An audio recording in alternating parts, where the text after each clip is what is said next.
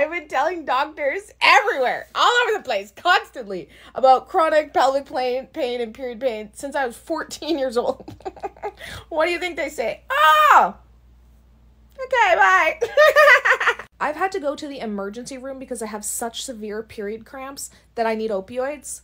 And then they give me opioids and flag me as an opioid addict and then never give me adequate pain management the next time I come in for literally anything to do with my body gone into urgent care and had to get a tramadol shot in my ass. They come back 30 minutes later. You feel fine now? I'm like, yes, thank God for that fucking shot. And they're like, okay, you can go home.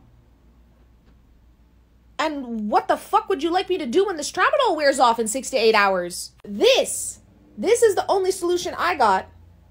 What's the solution? This thing is painful, but I control the buttons. It doesn't control me. When I was at Alyssa's house today, I had gnarly cramps and we were talking. I was sitting next to her and I was like, while we're talking, I'm like, oh, and like grunting and like. Oh.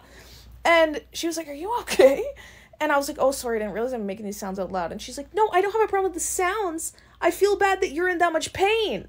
I am so used to apologizing for being in pain and other people being inconvenienced by me, them witnessing it happen to me. I went to a gynecologist I said, I think I might have endometriosis. He said, Does it hurt while you're being penetrated?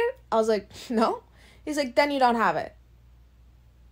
I said, um, I actually just made a video about this and I had thousands of people in my comment section telling me that they don't have that symptom.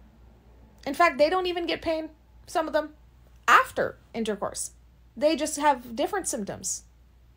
He was like, mm, yeah, I don't know anything about that. The thing that I get most often is people, they're like, well, it must be your psych must be your Vyvanse, must be this, must be that. And I'm like, oh my god, it's almost like I've ruled that out before by switching. Crazy. I'm like, I have had chronic diarrhea for six years. They're like, oh, yeah, you take Vyvanse. And what happens when I don't take Vyvanse, doc? Ask me. I still have diarrhea. So clearly it's not the Vyvanse that's giving me diarrhea.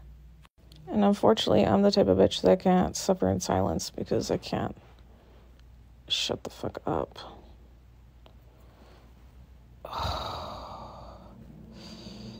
uh. But you know what? I saw a comment in my comment section about the BC Women's Pelvic Pain Clinic has like a fucking two year wait.